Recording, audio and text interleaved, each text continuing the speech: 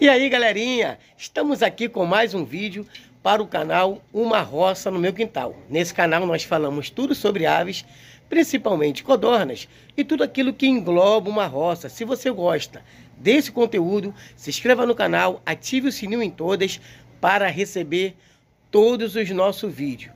E hoje eu vou contar para vocês três vantagens de se criar a codorna no chão. Fica comigo até o final que eu vou contar tudo para vocês.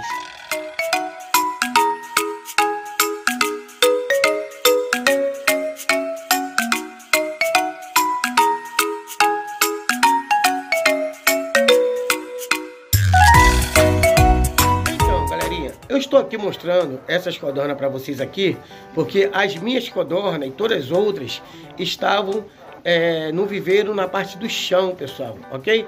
Mas aí, pessoal, deu rato, deu muito rato e eu tive que tirar, ok, pessoal? E coloquei elas aqui, galerinha, ok?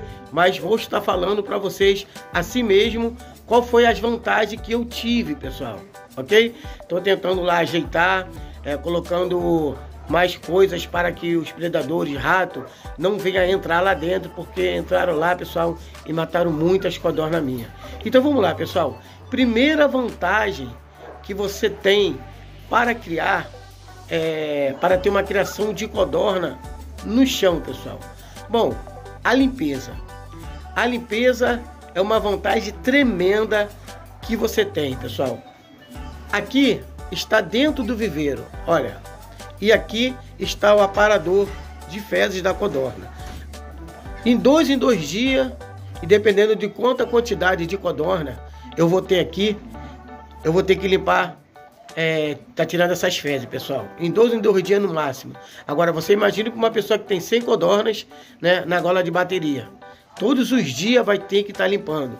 E já, pessoal, a codorna estando no chão, ali você pode colocar areia você pode colocar também, pessoal, palha, ok? Palha seca. E você também pode colocar, pessoal, é, aquelas, aquelas, aquelas paradinhas é, de madeira que eu esqueci o nome agora.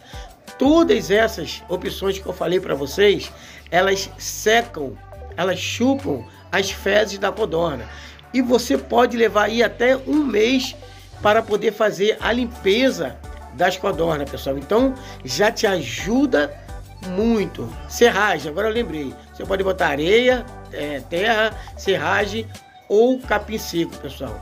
Você vai ficar aí até um mês sem fazer, pessoal, essa limpeza, mais ou menos isso, porque ela ajuda muito a puxar as fezes da codorna.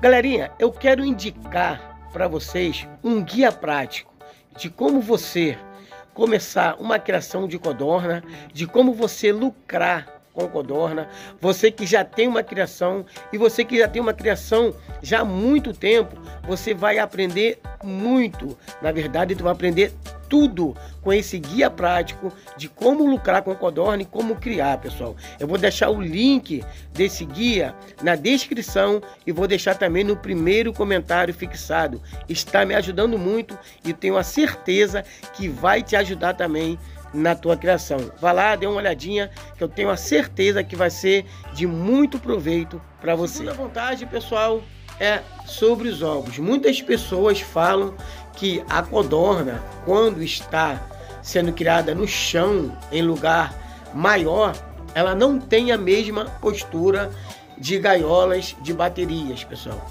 Mentira isso, pessoal. Pelo contrário, tá? Todos os dias eu tinha ovos, todos os dias eu tinha ovos, muitos ovos, até me surpreendi, porque todos os dias eu tinha ovos. Vamos lá, pessoal. A codorna, ela está praticamente quase no, no habitat natural dela. E por ela estar ali, pessoal, ela é, vai estar contente. Ela vai estar é, do jeito que ela quer. Então, com certeza, ela vai colocar é, a mesma quantidade de ovos ou até mais ovos, pessoal. Ok? Porque ela vai se sentir no habitat natural dela. Ela não vai se sentir preso, pessoal. Então, isso é uma vantagem muito grande que eu senti quando elas estavam lá, pessoal. elas colocavam muitos ovos, todo dia eu tirava bastante ovos. E a terceira vantagem, pessoal, é que ela não vai pisar nisso aqui, ó. Olha isso aqui, pessoal, que eu fiz. Aqui é uma gaiola e aqui embaixo, ó, é a parte do ferro e eu ainda coloquei essa grade aqui, pessoal, de plástico para elas pisarem e não machucarem o seu pé, pessoal. Mesmo assim, olha aqui como é que fica. Olha assim, olha aqui, pessoal. Olha o pé dessa codorna como está inchado, pessoal. Olha isso aqui, ó. Bem inchado o pé dela. Olha isso aqui, tá vendo? Inchado. Porque está pisando ainda aqui em cima. Então, pessoal, isso não vai acontecer com a sua codorna sendo criada no chão, pessoal. Não vai acontecer.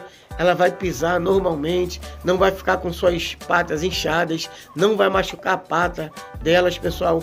E tem lugar aí, pessoal, que as codornas está na gaiola, que é, as patas dela até sangra, até sangra, ok?